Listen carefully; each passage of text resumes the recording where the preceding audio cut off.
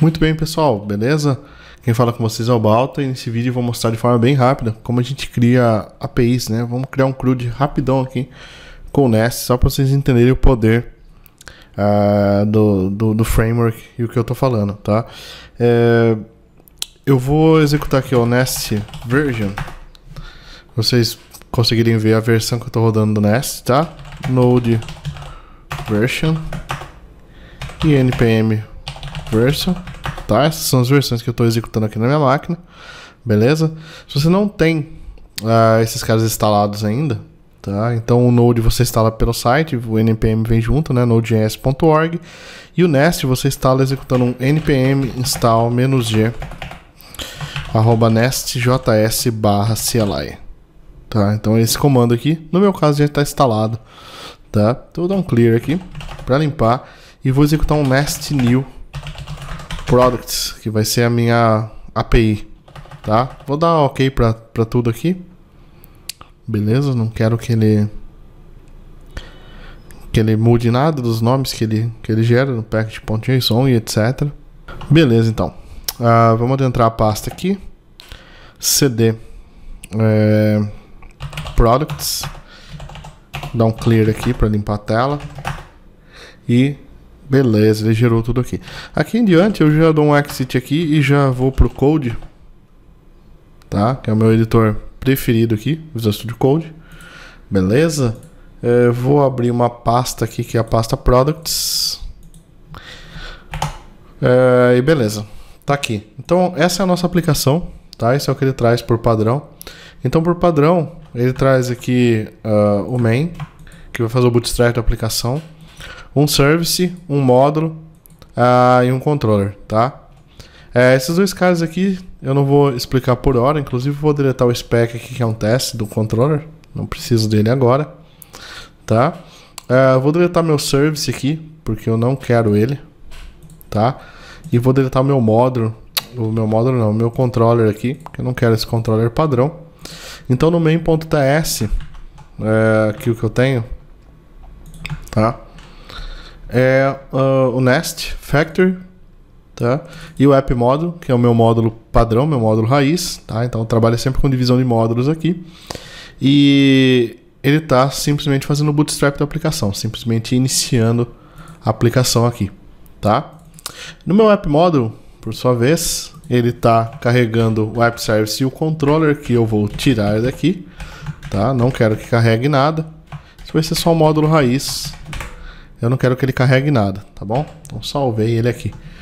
Beleza? Então a primeira coisa que eu vou fazer aqui é executar uh, um nest g de gerar, né? Módulo products. Então vou deixar ele gerar um módulo para mim. Tá? Então ele gerou aqui uma pastinha nova chamada de products. Beleza? E aqui dentro products.module.ts. Uh, e aqui no meu app module ele já colocou aqui no import o products module, tá bom? Vou remover aqui então uh, os controllers dos providers. Não vou salvar nada aqui, beleza? Uh, então o que a gente vai fazer agora? Eu vou gerar uh, os meus controllers aqui. Tá? Vou gerar meu primeiro controller aqui para receber a minha requisição da tela. Então vou uma nova pasta aqui controllers e vou gerar o meu uh, products.controller.ts, tá? Então aqui dentro do meu products controller, eu vou fazer primeiro import do get, controller e post, tá? Então get post são os dois métodos que a gente vai ter no nosso controller. Já vou explicar ali abaixo. O controller em si é o decorador do controller. Todos esses caras eles vêm do módulo uh, nestjs common. Tá? Então, o controller nada mais é do que uma classe. Então, tenho aqui o export class products controller. Tá? É minha classe chamada products controller. A gente sempre usa o sufixo controller aqui. Uh, eu tenho aqui o decorator arroba controller tá? para definir que essa classe é uma, um controller. Então, tudo no Nest é definido através de decorators, assim como no Angular. Aqui eu tenho a rota padrão para o meu controller, que é V1 barra products. Então, tudo vai começar de V1 barra products. Eu posso ter outras rotas aqui dentro depois, mas é, a rota padrão é essa. Seguindo aqui dentro, tem o construtor do meu método, que a gente não tem nada ainda. vou mostrar a injeção de dependência já já. E eu tenho os dois métodos, post e get, onde eu vou criar e onde eu vou obter os meus produtos. Tá? Eu já estou trabalhando com async aqui, então eu tenho async create e async get. Tá? Então essa fica a construção do nosso controller. O que eu tenho que fazer agora, eu tenho que ir no Products Model aqui e importar é, o meu controller aqui dentro para dizer que ele existe né, e que ele vai ser carregado por esse, por esse módulo aqui. Isso é feito através é, da, da definição aqui controllers, onde eu tenho um array de controllers e eu vou ter o meu products controller aqui, tá? Ah, sendo importado aqui dentro, beleza? No meu módulo. Então, por hora, o nosso módulo fica assim, tá? O que acontece agora? É, a nossa aplicação, ela tá aqui, ela tem o controller, né? Tem tudo certinho, o módulo, etc. Se eu fizer um post, ele já vai funcionar, já vai chamar aqui, né? Porque no app módulo eu importei o products módulo, né? No products módulo retornei ali. Então, se eu der um return aqui, uh, criado, e se eu der um return obtido aqui, tá? Eu já vou poder rodar essa aplicação. Então, vou rodar aqui pra gente ver o que vai acontecer. Eu vou subir o console aqui, que é Ctrl Til ou aspas duplas, né? A primeira tecla antes do 1 aí, para subir o console.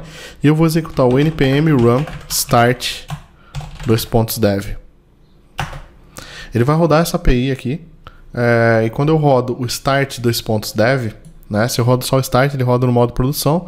Se eu rodo start dois pontos dev, ele roda modo desenvolvimento e ele executa o nodemon né? Ou seja, tudo que eu alterar aqui, ó, se eu der um Ctrl S nessa classe aqui, ele vai recompilar minha aplicação para mim e eu não preciso é, me preocupar com nada, tá? Vamos agora para o Postman testar essas duas chamadas aqui então. Vou deixar minha API rodando aqui já. Baixei, o, subi o console aqui, subi o console. Vamos rodar no Postman agora. No Postman, então, eu preparei a requisição a localhost é, 3000 v1 products, fazer um get para lá. Então, ó, obtido. E fazendo um post aqui, já, já tem um body criado aqui, tá? Ele vai me retornar aqui criado, tá? Então já funcionou essa esse post e get nosso aqui. Então tá, já tá ok. Mas isso aqui não basta, tá? O que eu vou fazer agora, eu vou vir aqui dentro do meu products, tá? Que é o meu módulo e criar meus models, onde eu vou criar o meu product.model.ts. É, e eu vou começar a criar a minha classe product model que vai servir como um model para mim, tá? Essa classe aqui, ela vai ter o underline ID como string, que vai ser o ID do objeto, tag, title e o preço do produto só, tá? Então não vai ter muita coisa aqui não. Beleza? Então o que acontece agora? A gente consegue no nosso controller aqui já, tá? Uh, dizer que eu tenho entradas, né, do tipo de um tipo padronizado tá? Então, para fazer isso, é, eu vou usar aquele product model que a gente tem, né, para setar ele como entrada e saída aqui dos nossos objetos. Então, vou fazer uma alteração aqui, uh, onde a gente vai ter aqui no post, né? Eu vou só adicionar aqui Ctrl ponto, né, para ele adicionar o body aqui em cima e Ctrl ponto. Deixa eu pegar meu product model aqui, eu dar um auto import, tá? Então toda, toda vez que eu receber um post nesse controller, né, nesse método aqui, né, no create, ele vai converter o body já é, para o meu modelo, para o meu product model. Olha que legal. Então vou dar aqui um return model, só para a gente conseguir enxergar. E aqui toda vez que eu der um get, né, eu vou retornar um product model. Então aqui eu vou, tô retornando um promise ali, é, porque eu já vou explicar que eu vou trabalhar com serviços aqui, né?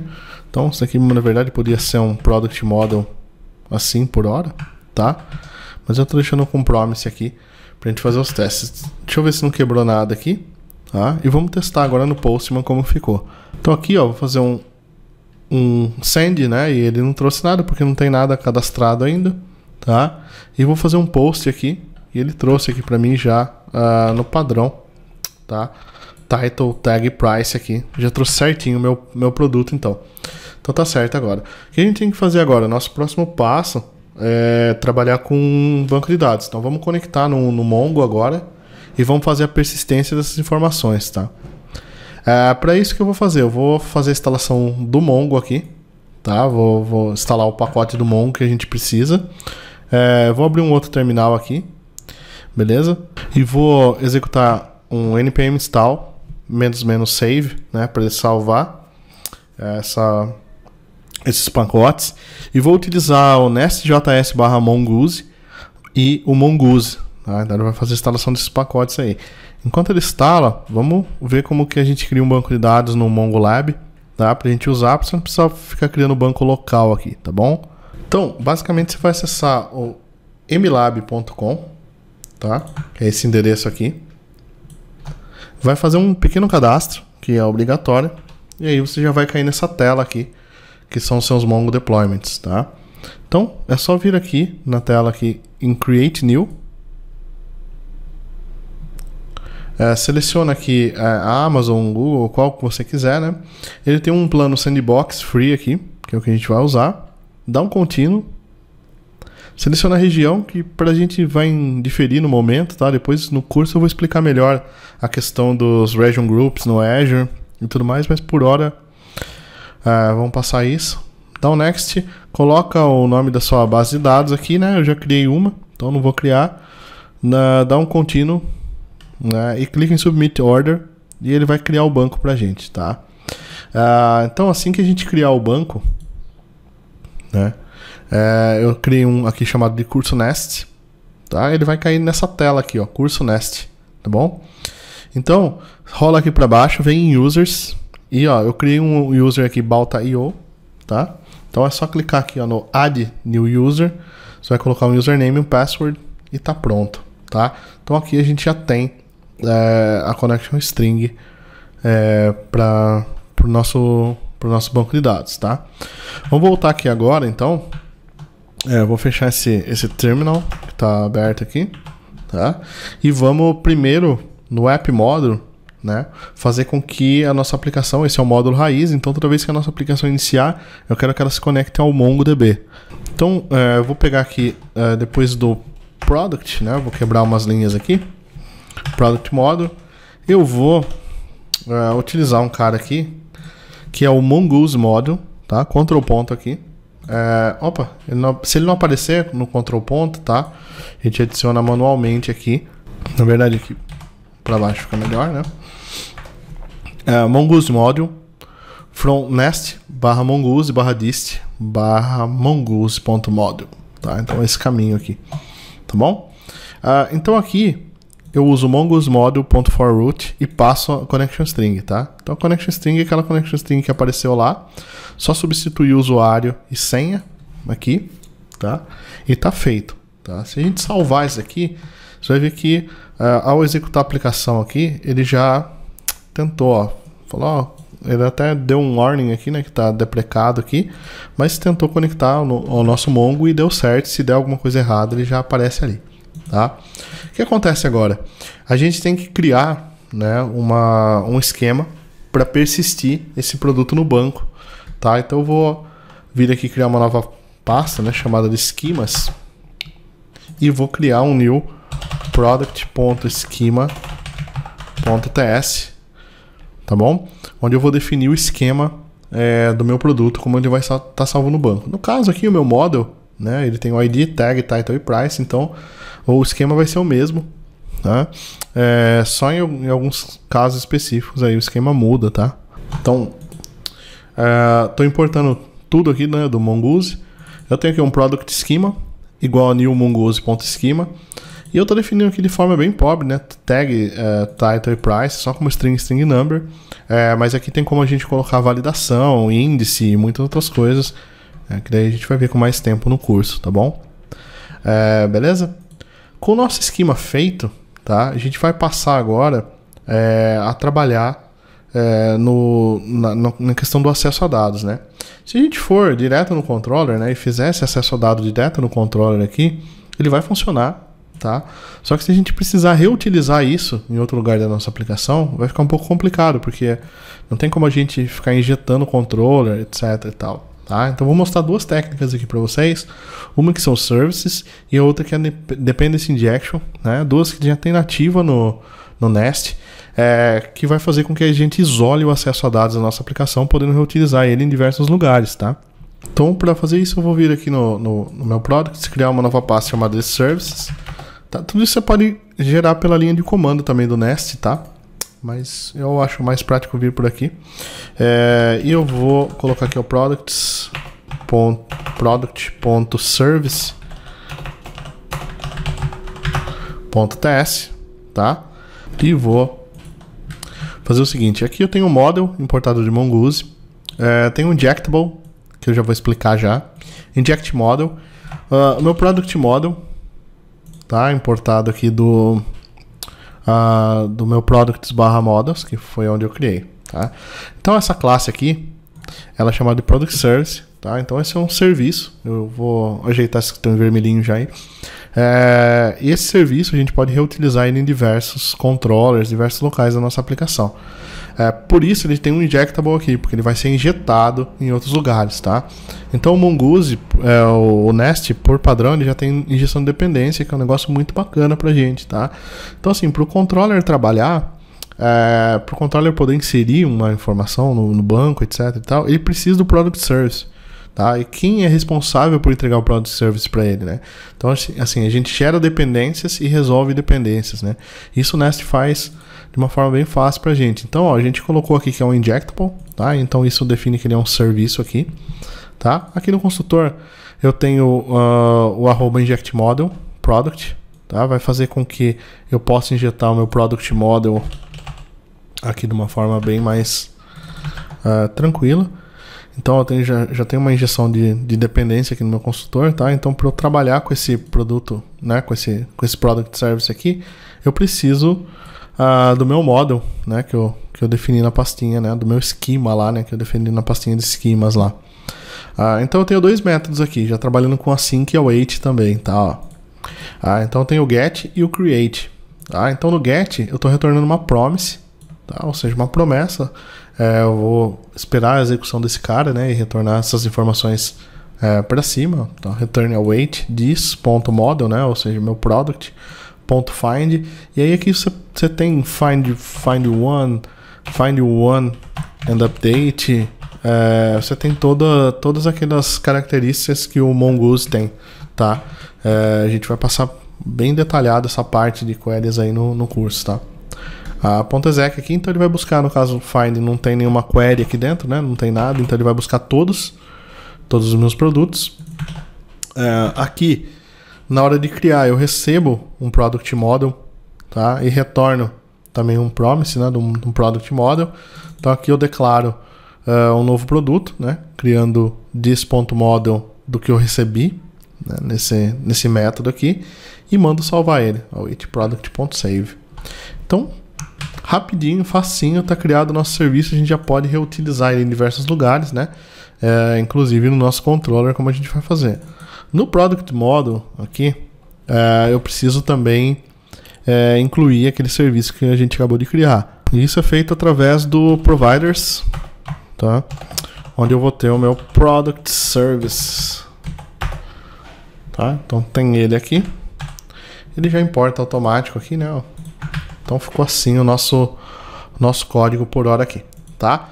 E vamos aqui no nosso serviço, né? no nosso controller agora, é, trabalhar é, com o nosso serviço. Então, toda vez que mandar um create, né, eu quero persistir agora no banco de dados. Então, eu vou fazer algumas mudanças aqui. Uh, primeiro, vou importar né, o, o, nosso serviço aqui.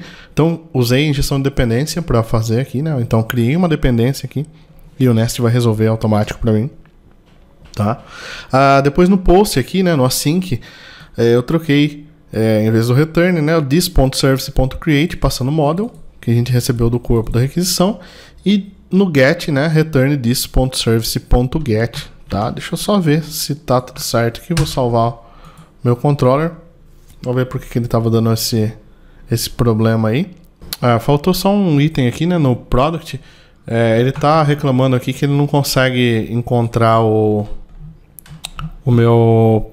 Uh, não consegue resolver a dependência do Product Service, tá? Que é esse cara aqui, mas na verdade, no Product Service não consegue re resolver a dependência do, uh, do Product, né? Que é o nosso model aqui, porque a gente não injetou ele aqui no Product Models. Então, ó, uh, no meu Product Models aqui, eu tenho que injetar, né? Através do Mongoose aqui. Tá? Deixa eu só diminuir aqui. Então, vou usar novamente o Mongoose Model aqui. Tá? Beleza? E, só que nesse Mongoose Model aqui, né? For Feature, né? É, no outro eu usei o For Root. Se a gente notar aqui ó, no App Model, eu usei o For Root, onde eu passei a Connection String, tá? E nesse cara aqui eu vou usar o For Feature. E eu vou colocar aqui o Product, né? Que é o nosso esquema, tá? E o nosso Product Schema aqui, que eu vou importar ele aqui embaixo, tá? Então agora com o nosso esquema definido, é, é para ele conseguir uh, funcionar. Então foi. Vamos agora testar essa aplicação. Voltei aqui para o meu uh, Postman. Eu vou fazer primeiro o processo de create aqui, tá? Então vou dar um send aqui e ele me retornou um 201 created aqui, tá? Até porque a gente não colocou retorno nenhum. Vou dar um get aqui agora e ele me trouxe ó, os dois cursos que eu tinha criado lá. Vou criar mais um curso aqui, é, que é o 979, criando mais APIs com Node.js. Tá, vou dar um send aqui. Beleza, deu um 201 created, vou dar um send aqui para dar um get. Ele trouxe, tá? Então, pessoal, isso aí. É, de forma bem rápida aí, criamos um, um, um create e um, um read é, com o Nest Framework. É, vocês viram que é bem rápido e fácil, mas tem muito, muito mais coisa legal ainda para mostrar. É, tem interceptação de rota, é, tem como fazer validações, tem como separar esses módulos de uma forma bem melhor, tem como trabalhar com CQRS, com microserviços e muito mais. E fiquem ligados que tudo isso a gente vai ver no curso uh, o 978 de Node TypeScript. O link está aqui na descrição. Valeu!